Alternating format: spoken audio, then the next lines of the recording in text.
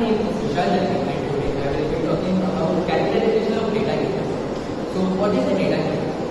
Data data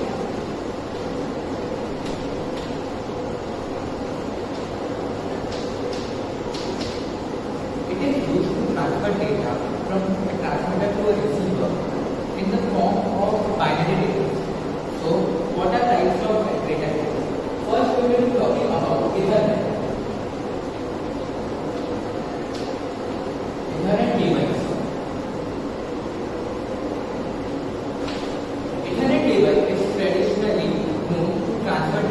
Within a wired local area network which is called LAN. So when in LAN network, when a network device formats or transmits data, the other people in that in that network area can access to the data. So the Ethernet cable used there is used to is used for transmitting data over the server. So this type of data cables can be seen in your CPU when you connect the internet. So next type of data cable which is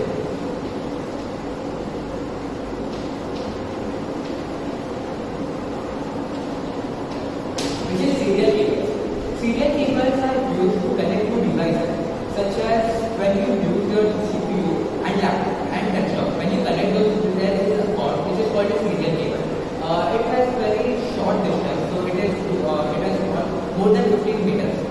So it is used to connect only two devices and transmit data between them. And the third is coaxial cable. So in coaxial cable, there are four layers. First is the copper core through which the data is being transmitted. So this is the copper core. So the copper core has an insulator of dielectric material. So this is the dielectric material. material. And then the dielectric material has a component of copper shield. It has been combined by copper shield. This is the first layer. This is the second layer. This is the third layer. And the oval wire, the oval or wire is formed by a plastic sheet. This is the plastic. So it is used to transmit radio frequency transmission.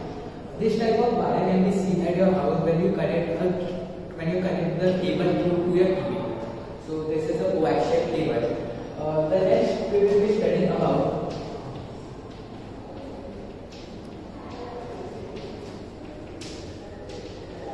optical fiber cable.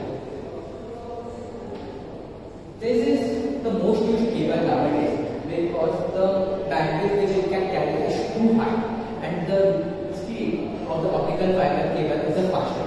Because now I will, now I will tell you how the optical cable